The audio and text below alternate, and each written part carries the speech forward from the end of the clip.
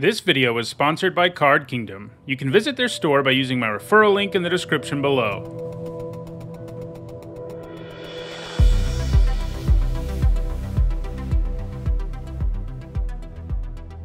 Hi everyone, I'm Nizzahon, and today is Saturday. That means it's time for Nizzanotes, my weekly vlog series where I talk about limited magic. Today we're doing a mailbag episode. I asked for questions on the community tab, questions you wanted me to answer related to limited, and I'll be answering several of them today. The first question comes from Mikey B. He asked, What are your thoughts on 17 lands? How helpful is it? How has it changed the draft experience?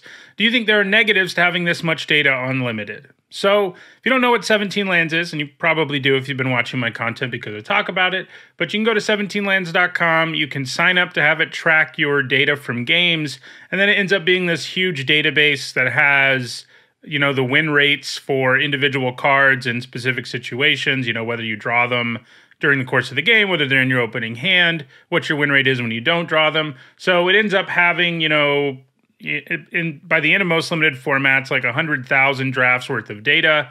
Um, and so you end up with a lot of information about cards and how good or bad they are. So overall, I do think 17 lands is a good thing. I think it is helpful. Once there's a large enough sample size, which is usually like a couple weeks into a limited format, it's a pretty good place to go to sort of see how your evaluations are stacking up versus what's actually happening in the format.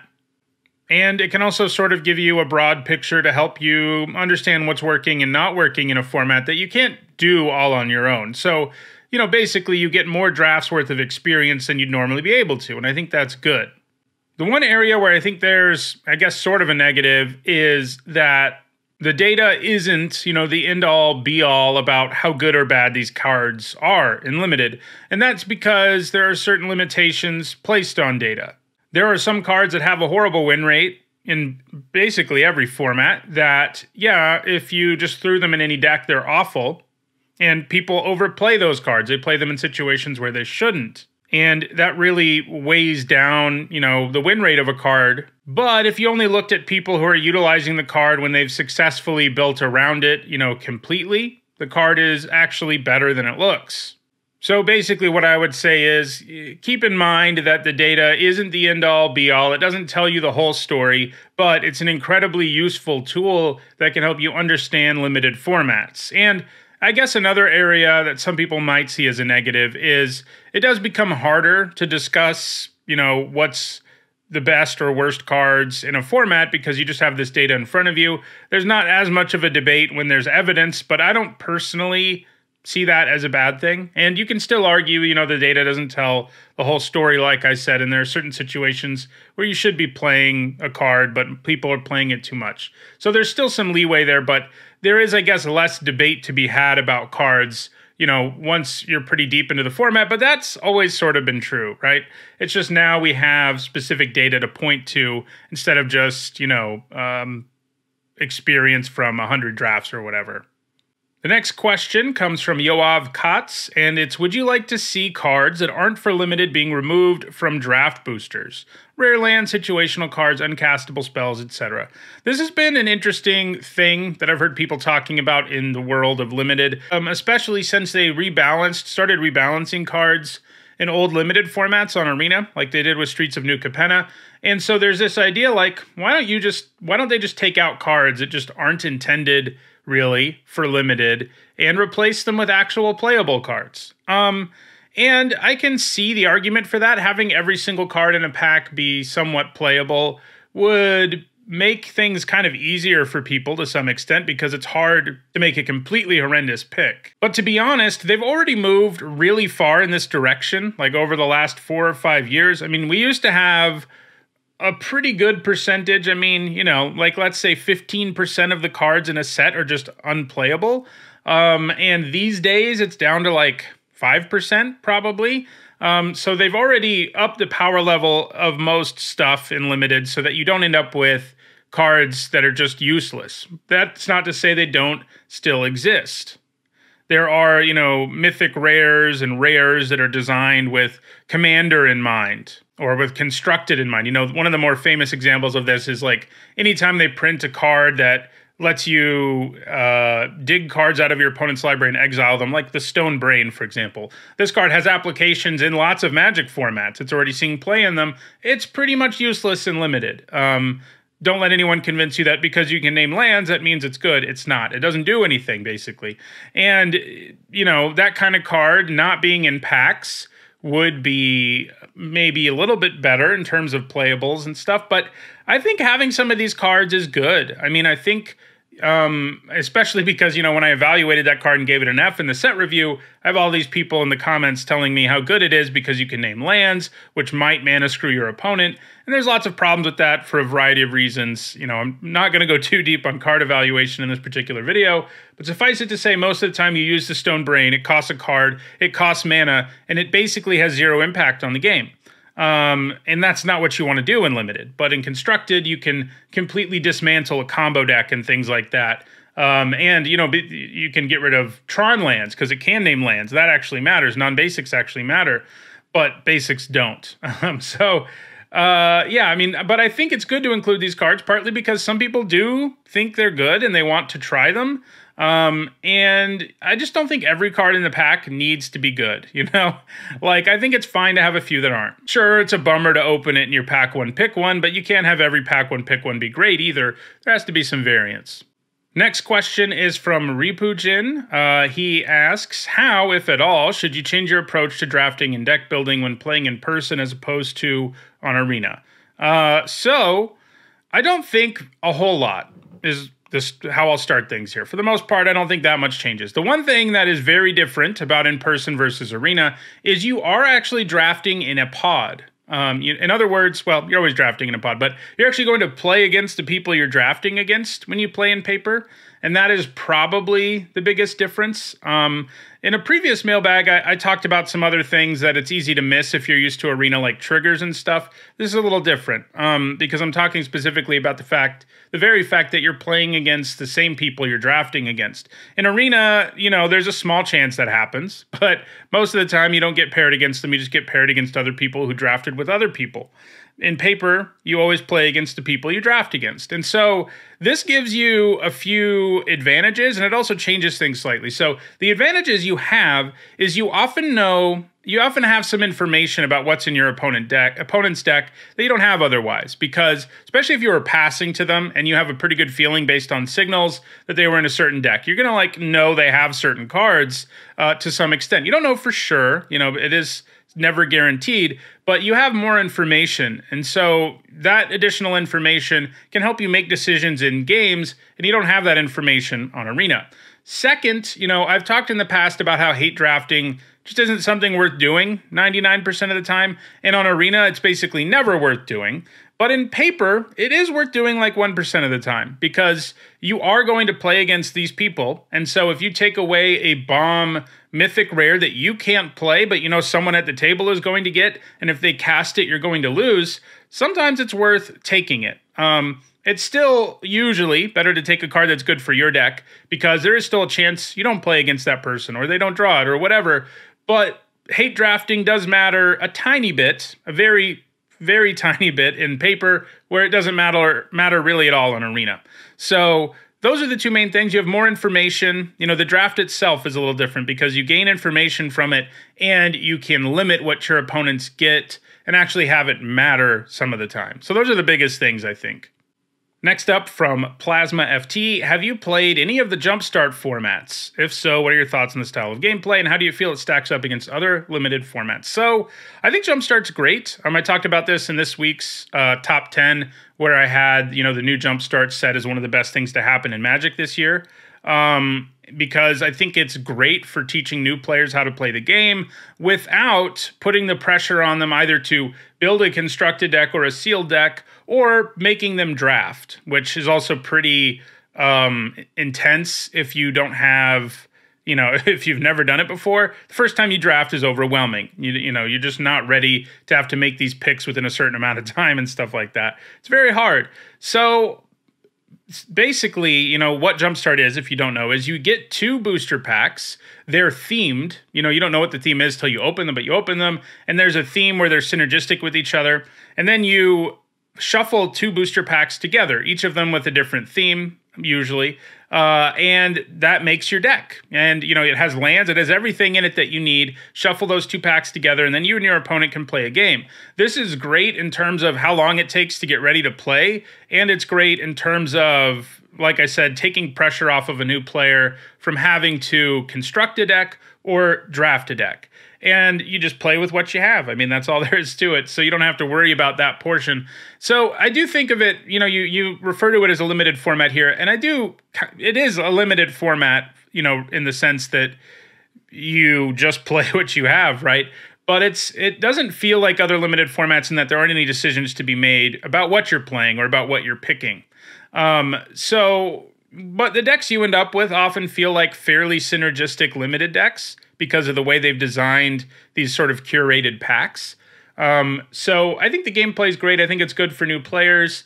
Um, you know, and it's fun to play a few times, but it's not. It doesn't have the same amount of um, input from you as as other limited formats do. And overall, to me, that makes things like draft and even sealed better uh, than jumpstart. Even though I like jumpstart, uh, you know, sometimes I like draft and sealed a lot more. All right, so our next question is from Alex Caps, and it's What's your take on rare drafting? Is it bad sportsmanship or do people overreact? For instance, all the ha- hate that Pascal Maynard got for drafting the foil Goyf, was it warranted or do you think what he did was okay? So I think there's a few questions here, but first to address what a lot of people probably don't know because it happened a while ago now, like seven years ago now, I guess almost eight years ago. Uh, in 2015 at Grand Prix Las Vegas, in the top eight draft, so very high stakes. Um, the event was it was whatever Modern Horizon set was out at the time, and Tarmogoyf uh, was in the set. And Tarmogoyf, is, at the time, all those years ago, was a highly sought after card in Modern, one of the most heavily played cards in the format, and considered one of the best creatures in the format. Um, so it was worth a lot of money already the Tarmogoyf was. This Tarmogoyf was foil, and it also had a special stamp from the event. They stamp cards, so it's harder for people to cheat when they, uh, like, you know, they have to play cards they open in the packs because they're specially stamped.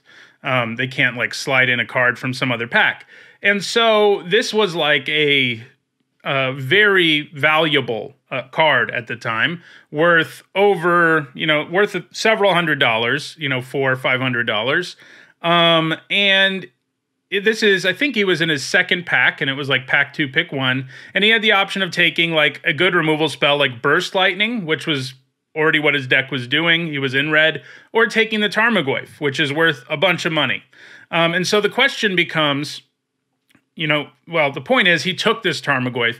People lost their minds about it um, because Tarmogoyf bad and limited, great and modern at the time, horrible and limited, still is. It's hard to make it any significant size at all in limited. Um, and if it is, it's just a big vanilla creature. You don't have the upside of just playing a huge two mana five six uh, consistently enough for it to be what it is in um, constructed. So people lost their minds because you know he's at this high level event the top eight of a major grand prix where there's a lot of money on the line and he did t- decided to take a card because of how much it was worth. Um, and so this particular thing which went on to be called goyf gate uh, this was a huge controversy. Um, and in the end i mean what he did basically was a calculation of expected value right? This burst lightning would have been pretty good for his deck. It's you know a premium removal spell. Um, that's great but he also can make like 500 bucks without having to worry about the outcome of anything else for the remainder of the the draft. And you know you hold on to that money. And so the calculation is how much money does burst lightning likely to win me probably less than $500 and this is why he made the pick and it really angered people that anyone would do it. This is a very specific case of rare drafting, so that's why I sort of say this is two questions. That's that was a strange uh, situation that most of us aren't going to find ourselves in like ever, where you're in a high level event like that and you open up a card worth several hundred dollars. You know, like it's not going to happen. So in general, how do I feel about rare drafting? Well, um, I think it, you know if you want to do it, it's it's fine with me. Um, I don't think it's bad sportsmanship necessarily. You know, on Arena, uh, rares, if you get an, if you get four of rares or mythics, you start to get gems for when you get like the fifth, sixth, so forth copies of them, and so you have kind of a it's a much smaller version of the equation that Pascal Maynard did, uh, but you kind of have a version of it. Uh, you know, like you know, I get gems up front here, regardless of what happens the rest of the way.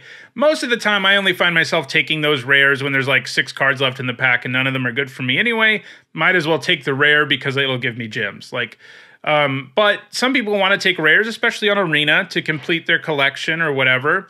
Um, and that's fine with me. And people sometimes people in paper want to take all the rares just to do it, and that's fine too. I mean, you're not usually going to end up with that good of a deck if you're rare drafting. Um, that's just how it is. I mean, you you can't just take every rare and mythic and jam them into a deck in limited and have it work out for you. But I don't I don't have a problem with it. I understand some people do. I understand some people probably disagree with me about the whole Pascal Maynard thing, but you know, whatever. it's just it's rare drafting. People can do it if they want to do it. Um, and most of the time it's going to be better for you in terms of your win rate if people are doing it. All right, so the last question I'm answering today is from Dakota, and it's what block do you most hope to see, return as a draftable remastered set on Arena? So I think my answer to this uh, is probably Tarkir block. You know, I think I could name a lot of blocks that it would be cool if they put them on, as remastered sets on Arena, like Invasion block or original Ravnica, stuff like this. But that's almost definitely not going to happen, at least not in the next five to 10 years, because uh, those cards are so old that there's not really a need to put them on Arena um, unless they eventually move, you know, Magic Online's formats to Arena, then maybe it happens. Um, so the one I name that I think is possible uh, is Tarkir block. And the reason I think this is possible is it seems like for Explorer, which is, you know, the the format, newer format on Arena that is a true to paper format, you know, only cards that are also exist in paper are legal uh, in Explorer on Arena, and that format's been fairly popular. Uh, it's basically Pioneer, is basically what it's gearing towards, and Tarkir blocks in Pioneer, right?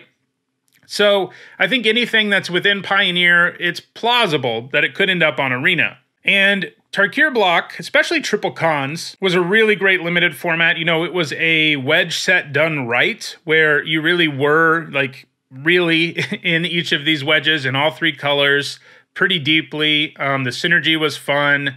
Uh, it was just a cool set. I mean, and it's for me, there's some sentimental value because while I had sort of been playing Magic um, here and there between about 2007 and, and 2014, I hadn't really had anything that really made me really pulled me back into the into uh, drafting a ton, just like here and there. But so that was really where, like on Magic Online, I started jamming a bunch of drafts of Khans of Tarkir, and it really got me uh, rehooked on limited, which I hadn't been in several years, and I'm still sort of on that, on that kick that started back then. So it's a format I really like, but also I think a good format, and I think it's also plausible, um, a little plausible that it ends up on Arena someday in some sort of remastered format. Um, it's still not that likely because it's a set from like 2014, but uh, it's possible. So that does it for this mailbag episode. Next week, I'll be back with probably some other more general topic about limited as we await the arrival of Phyrexia All Will Be One. Preview season starts for that pretty soon. Uh, it already has, I guess, but it really starts in earnest uh, pretty soon. So thanks for watching. If you want to see more of these videos, you should see the playlist on your screen shortly. If you want to make sure you catch the future ones, subscribe and turn on notifications. Thanks for watching.